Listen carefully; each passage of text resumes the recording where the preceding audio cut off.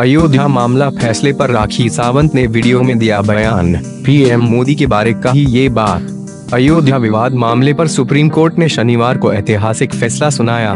पाँच जजों की संवैधानिक पीठ ने 40 दिनों की सुनवाई के बाद विवादित ज़मीन पर रामलला के हक में निर्णय लिया। साथ ही मुस्लिमों को मस्जिद के लिए पाँच एकड़ ज़मीन देने का आदेश दिया। इस फैसले पर कई बॉलीवुड सितारों के अलावा राखी सावंत का भी बयान आ गया है। राखी सावंत ने अपने इंस्टाग्राम अकाउंट पर एक वीडियो शेयर किया है।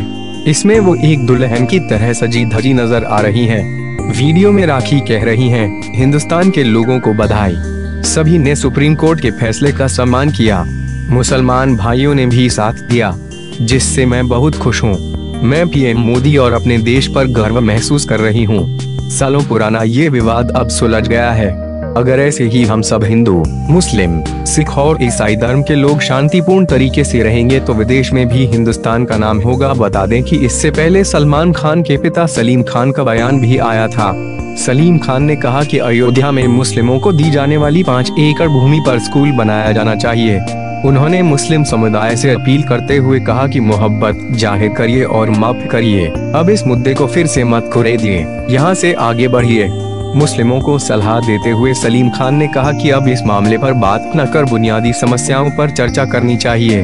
मुसलमानों को स्कूलों और अस्पताल की ज़रूरत है।